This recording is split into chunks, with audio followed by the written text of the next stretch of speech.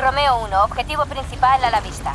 El dispositivo Sistema X se encuentra bajo protección en una instalación de recolección, varios metros bajo tierra, pero el sistema de control está en la superficie. Tienes que encontrar la forma de subir.